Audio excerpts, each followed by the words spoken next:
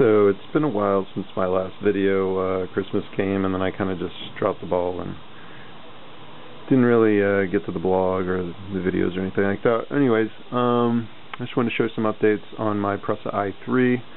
Basically, uh, quite a few things that I've done to get it printing really well. Um, it was printing really well, now it's printing even better. Circumstances with um, things that might uh, curl off the bed and whatnot. Um, I have it set up with Octoprint, which is uh, super nice. I got a little video camera, so anywhere around the house, I have my tablet, I can kind of work on it. And I got a CanaKit.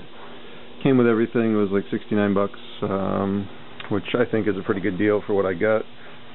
The enclosure I built out of um, basically angle and flat aluminum, um, local hardware store, acrylic sheets, hardware store, just the cheapest stuff I could find that would work.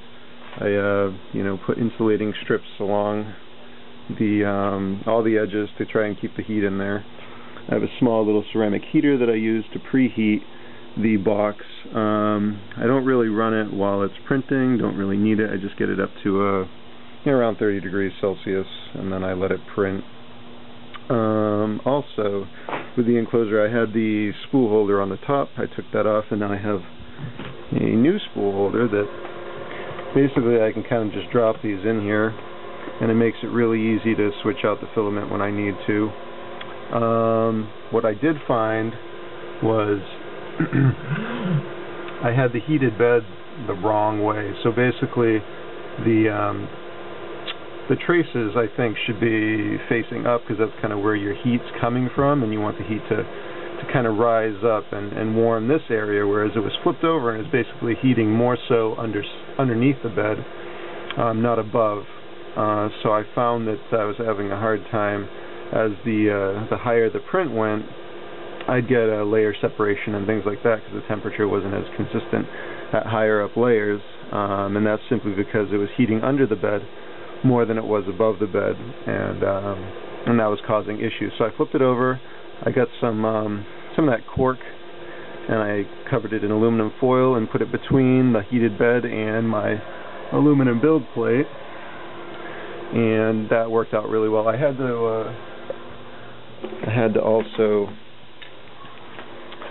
I had to also print some new new holders, bearing holders for my bed because as you can see they they became kind of warped from the temperature. Say the uh, it was a lot hotter underneath the bed than on top, so it was warping these, and then I was having you know errors in my prints and things like that. Um, the nice thing with the enclosure is I can also mount a light, and I got my camera mounted, which is hooked up to the Octoprint, um, the Raspberry Pi for Octoprint. Um, so that that works out pretty good. Nice little mount in there. The other thing I set up were these, uh, I printed these corner clips so that I could easily adjust the bed without having to, you know, have a, uh, a wrench in there and then also the, um, you know, to adjust the top. So that was nice. Update, I added a fan to the um, extruder uh, motor and I print out, you know, just something I made real quick, a mount for that.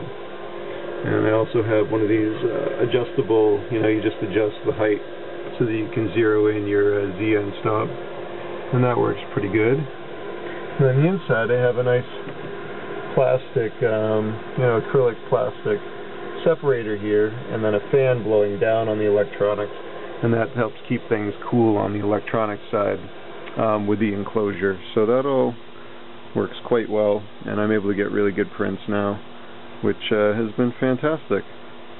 So, and it's got a nice little, you know, door, and it's a lot quieter as well um, which is an added benefit.